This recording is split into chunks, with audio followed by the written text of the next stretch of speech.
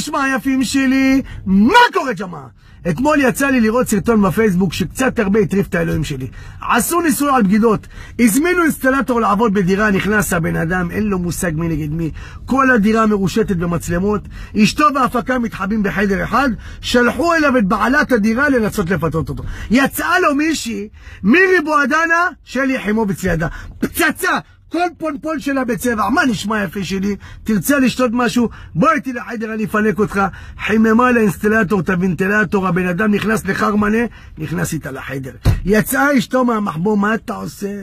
אני לא מאמינה שאתה עושה לי זה. I can't believe, איזה believe זובל חליטק. וואלכ, בעלך נראה כמו פומפה. זה שהסכמת לעשות את הניסוי הזה, מעיד על כך שאת סתומה.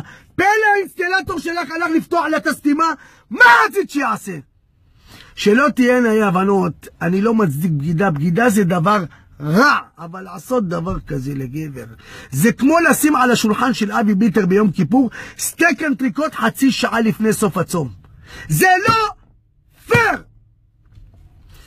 בנות, עם הרבה בושה אני אומר לכם בתור גבר, על כל גבר שהיה מסרב לאישה הזו, 97 גברים היו הולכים איתה. חתום, בדוק, נעול.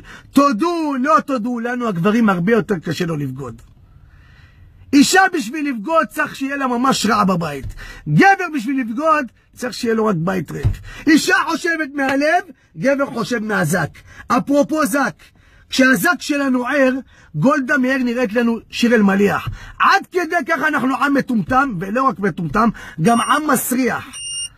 עושים את זה בכל מקום. שירותים מסריחים של מועדון, נותנים בראש. צפרדע של זבל, נותנים בראש. על הכיסא גלגלים של סבא, נותנים. בית אבות של סבתא נותנים, העיקר להגדיל את הרזומה. אפרופו רזומה, גבר מגיע לחתונה עם רזומה של בין 30 ל-70 נשים.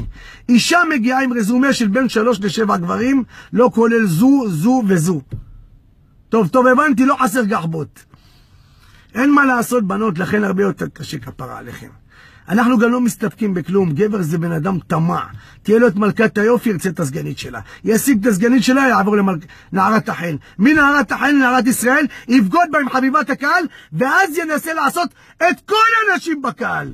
וואלה קיו גרנט, הייתה לו אליזבת ארלי ביד, נתן ליצאנית לעשות לו ביד. עד כדי ככה אנחנו עם מטומטם.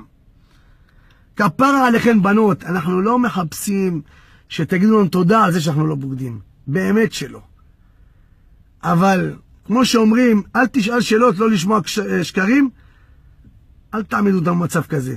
כי אני מבטיח לך, אישה יקרה, אם תעמידי את הגבר שלך במצב כזה, תשלחי עליו כוסית, שתפתה אותו, זה לא ייגמר בטוב. ותמי. נשבע לך לא בוגד, בחייאת עיוני לא בוגד.